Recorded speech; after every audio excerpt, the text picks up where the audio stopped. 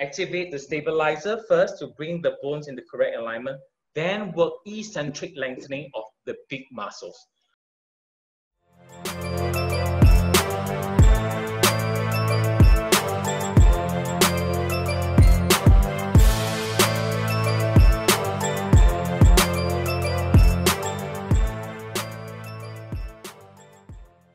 Hello, everybody. Welcome to the Hustle and Fit interview series. I have another great interview for you guys. If you're looking to grow, build, and transform your life, you're going to absolutely love this interview. I have the pleasure of interviewing today Daniel Chan. He's the co founder of Body Tree Group. He's a Pilates teacher. He was Fitness Best Elite Pilates instructor of 2017. Uh, he's the creator of the Prehab Trainer. Um, he's a certified basic sports massage therapist. He's uh, he's specialized in injury and sports injury, and he's also a certified personal trainer. So Daniel is the go-to person when you're really trying to build a strong and powerful body. So welcome, Daniel. How's it going? Thank you. Uh, it's been great.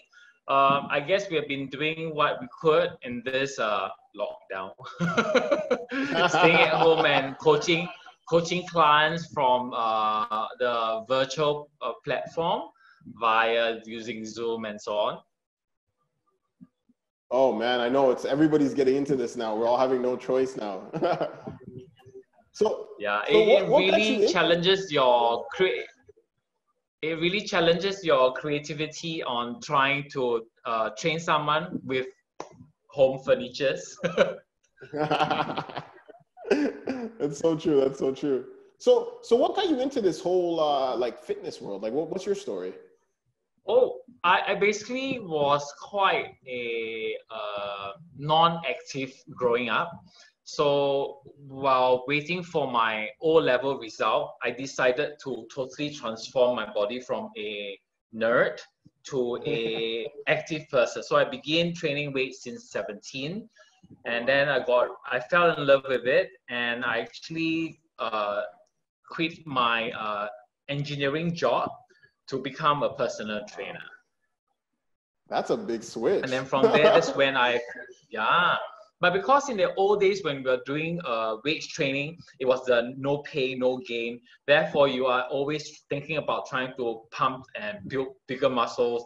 But and because of that, you you lose mobility and because of that, I got injuries and so on. That's what Pilates was introduced to me to help me regain my mobility.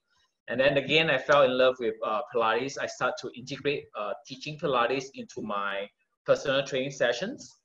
And then from there, I begin to teach Pilates full fledged. Wow. Okay. That's interesting. So then what why did you choose pilates? Like why did pilates become your you know one of the major things that you started to focus on? So a lot of people are only exposed to pilates mat work which you see in commercial gym. Uh, those are done with body weight on the mat but it's actually not the the real pilates or it's not the complete pilates. Pilates is actually done on uh, spring loaded apparatus and the machine really looks like the gym machines itself, minus the plates and so on and so forth. So the I don't view it as Pilates as like yoga where you are in certain poses. Pilates is actually a concept of movement about how controlled you are in moving certain joints. Like in bodybuilding, you focus on the bicep curling and how we are bending the elbows. It's the same as Pilates. Pilates is basically telling you how to move your joints for certain movements. So you apply Pilates into running, you apply Pilates into gym, you apply Pilates basically to anything. So it's not restricted by the apparatus. It's more of a concept of movement. So I choose Pilates because I could still do weight training using Pilates technique. Oh, that's interesting. And and what is what is the specific benefits of doing it? You know, adding that into your workout routine. Like, what does it help? So, you know, I'm I'm a guy who's trying to get bigger, stronger. How does that help me directly do that? So a lot of uh, my friends who are doing weight training, they come back to me telling them they have tendonitis, for example, the tricep tendonitis or shoulder impingement. And when that happens, it actually prevents them from doing the, the work or sports they like they have to either rest for a few months or avoid certain movement, and that will actually restrict their mobility. So Pilates actually help regain your mobility while maintaining strength. So the difference between flexibility and mobility is in flexibility, your arms could be passively stretched by something. But in sport, you have to basically engage your muscles to move. But you might be restricted because there are muscles that are tight or preventing you from moving. So when we talk about mobility, it's basically having active muscle engagement to move to the maximum range of motion. For example, let's take a shoulder press. So a lot of people is trying to build a very nice shoulder, but because they are so tight in the legs, they are ending up like that. So instead of fully extending the arms overhead, they are actually doing a short range. Yeah, but it might get bigger and more tense, but over time, you're actually preventing the joints from going to a full range, which might promote uh, injuries, inflammations, or even tendinitis. Oh, interesting. And does it have any, does it have an effect? So like, let's say for instance, I'm doing the shoulder press and I'm not getting the full range of motion. Will that also um, show up in the way my muscles look?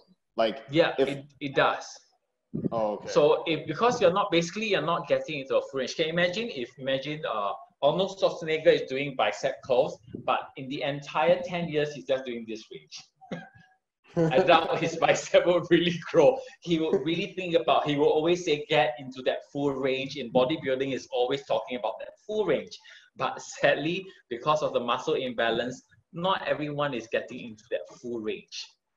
Oh. So Pilates is basically big, uh, talking about uh, strengthening the stabilizers to really keep the bones into the correct position so that the bigger muscles could move rather than using just the bigger ah. muscles to both move and stabilize. So basically we have a superficial layer, which is like the pecs, the delts, the lats, while the smaller muscles are like your uh, serratus anterior, your lower trap, they actually move the scapula into a correct position so that the other bigger muscle can function. And Pilates is all about working those small stabilizer muscles. Wow. So what are, what are your top exercises or uh, routines uh, that somebody can do to increase their mobility um, and flexibility? Uh, it's actually more of a protocol that we like to work on. So of course, first you warm up dynamically so that the muscles can reach, contract and stretch. And then followed by, I would like to do, uh, mostly do eccentric work. So a lot of us uh, start the exercise by doing shortening exercises, pumpers, so we call that pumpers. So like for example, if you're doing bicep curl, if your focus is the curling part, you are actually for forcing the bicep to shorten all the time. If I'm doing quads, I do not want to do leg extension, you know, the machine where you shorten the legs, we'll do natural knee extension. So when you do leg extension, you're basically trying to shorten this. And then once you do leg extension when you squat, because this is already shortened, you might be causing the patella to compress into the joint. So instead of that, we do uh, extension using more stretch. So from here, you're basically trying to extend to create length in the quads while building strength. So all our protocol is activate the stabilizer first to bring the bones in the correct alignment, then work eccentric lengthening of the big muscles before we work the concentric. Oh, that's interesting. And then what are some tips in terms of building more um, uh, like uh, building muscle and reducing fat? What are some of your tips in terms of that? Well, it's very subjective because as you know, uh, you can exercise for all you want, but if you're you suck at diet, as in you take high sugar, you take high fat, it's going to ruin your your fat percentage. So at the end of the day, you can exercise for all you want. You can build more muscles to increase your metabolism. But if you do not eat healthily, you're not going to get as lean or as ripped as you like. what, what, what would actually be one thing that you like to eat like that really has a large um, that's really good and nutritious like what's one of the things that you eat that is that helps you out with that I'm actually quite um, quite uh, I'm, uh, I eat normal. I eat as a lo- local normal Singaporean. I'm not crazy over that you only have broccoli and breast meat. You have to prepare your meals because I'm quite busy. I'm quite lazy. So I basically have like salad uh, with chicken breast for lunch. My first meal is uh, lunchtime. I kind of do the uh, intermediate fasting. Oh wow. Yeah, so I only have my first meal at about uh, 12 so it's either a salad with uh, uh, with protein, and then I move on to dinner time with a very normal uh, local cuisine like uh, noodles or rice with some vegetables and meat, and that's all. Maybe in between, I have a uh, a snack bar like a chocolate bar. a little snack. yeah, but I think more importantly, if as long as you're keeping yourself active throughout the day, because as a fitness profession, you'll be moving around, so it's not as bad. So sometime in the evening, you can have a treat rather than you try not to eat anything at all. Then over the weekend, you really spoil yourself with ice creams and high sugar stuff. That makes sense. Yeah. And because so like, we are, yeah, and yeah, and because we are in Asia, our serving size are rather small. Yeah, I remember when I was in uh, U US for um, uh, a conference and we had dinner and their dinner was was equivalent to our two days meal. it's like, whoa. I think the key thing is because our portions are small. That's why we are as we are leaner than normal. Got it. Okay. and actually, um, one thing, just kind of talking about that, um, in, in, terms of uh, portion sizes, I guess do you do you I guess you don't you don't really manage that. Like you don't do you actually like say okay I'm gonna eat only this amount of carbs or, or you don't do all that? Uh, how do you structure your your your uh, sizes that you're eating? I don't uh, structure them by weighing scales or actual portion because of how the meal are sold. I usually buy my meal rather than prepare them because I don't cook. But instead, I portion them according to my activity. So if, if I'm planning to do my uh, 13K run the next morning, I make sure I have enough carbs uh, the night before, the evening. So I allow myself to have the normal portion of rice, uh, the vegetables and stuff. But if I'm not doing any cardio the next day, I would usually just have uh, very little uh, carbs in the evening or uh, no carbs at all. My carbs maybe come from natural fruits like potatoes or fruits rather than uh, the refined flour uh, stuff. Ah, okay. And actually, for because uh, I know I had a friend of mine ask me this. Um, do you feel like there is too much cardio, or like let's say you're trying to get bigger in size? Do you feel like someone can have too much cardio or do you feel like um, you know that's not actually true it really depends on your goal. Uh, are you trying to uh, build more slow twitch muscle or are you trying to build more fast twitch muscle for size? So for us, we teach more based on function and what are you using that muscle for. Uh, we, I'm not in the field where the size for you to go into a bodybuilding show or competition. For me, we, most of our clientele are people who are in the uh, performance world, like the golf players, the swimmer, the Ironman, uh, triathletes. So we don't deal with people who are trying to look good physically, but we are more focused on trying to make you function better does that make ah, sense? That's interesting. Yeah, yeah so actually makes a lot of sense. Not, yeah, so I, I, I do not have the challenge of trying to get someone telling me I'm trying to get big or should I run or not. More importantly is why do you need to run? Are you playing soccer? do you need to run faster for the ball or anything else? Yeah, no, that makes sense. Well, I've seen your aesthetic, so I think the way you look is perfect. Like if you very svelte and cut, so I think a lot of people. I'm aging. Yes, I'm aging.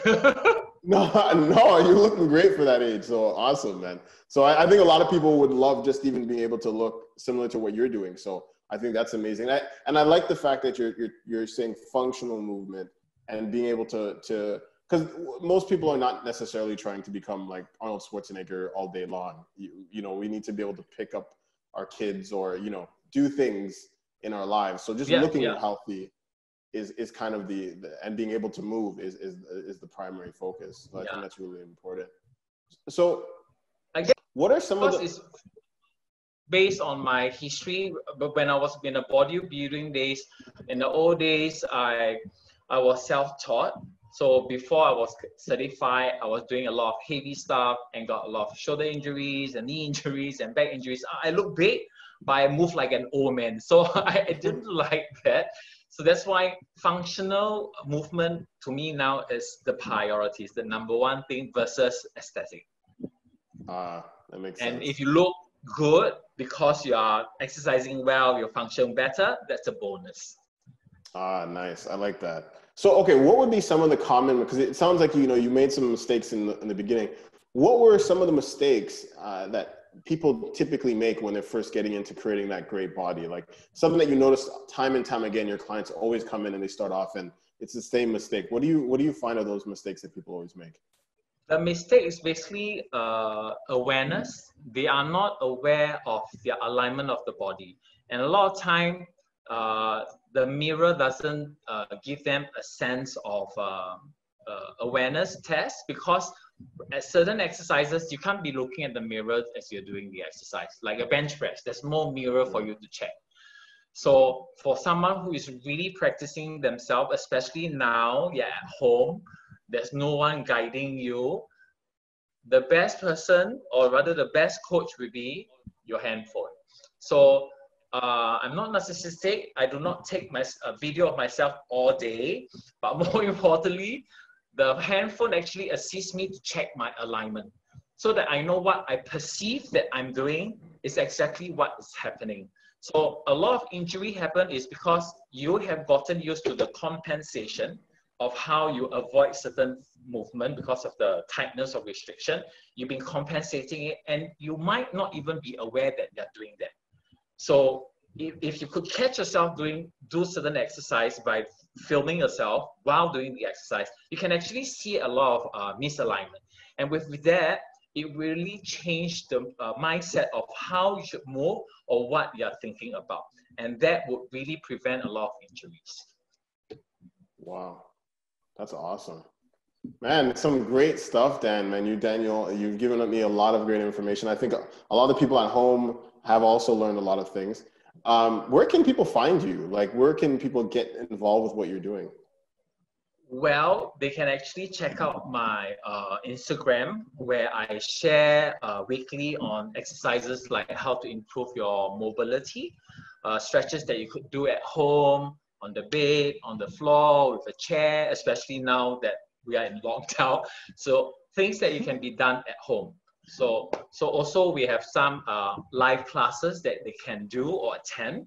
So they can actually message me uh, at uh, my Instagram. Uh, my Instagram name is Daniel Chan dot Body Tree. So my company is basically called Body Tree Group, and uh, Body Tree Group is made up of uh, four sister companies. Body Tree Academy, where we train trainers. We teach, teach people to become Pilates teacher. We also provide uh, fitness education for personal trainers to advance their education and knowledge. We also have uh, the Pilates studio itself called Pilates Body Tree. The other companies is for women's wellness. And the other one is Body Tree Ballet, where we help recondition injured ballerinas. Oh, wow. Interesting. That's, that's very So to find me, yeah, so basically, just look for me at, on Instagram. If they don't have Instagram, you can just email me at Daniel Chan at bodytreegroup.com. Awesome. Okay, I have one last question. I always like to end the interview with this question. Okay, if you had to leave, you're leaving on, up, you're going on a spaceship and you're leaving the Earth tomorrow, and you could leave the Earth, you could leave the world with one health-based tip or one thing of importance that you've learned in your health journey, what would be that one thing you would want to leave to the people uh, before you go? Oh, listen to your body. That's it. yeah. So a lot of people are still not being able to tell the difference between uh, soreness and strain. And and if they continue to work out or exercise thinking that, oh, it's just muscle soreness, they continue, the strain will become an injury eventually. So they just have to awesome. learn how to listen to the body. Learn some, that's some wise advice. Very wise advice. I've learned that lesson myself. Honestly, thank you so much, Daniel, for coming out today and, and spending this time with us. You need to follow Daniel's Instagram, check out the Body Tree Group, and you know get as much information um, because he is the person that's really going to transform your body and your mind and your spirit. So once again, Daniel, thank you so much for helping us today, and uh, for the rest of you guys, have an awesome week.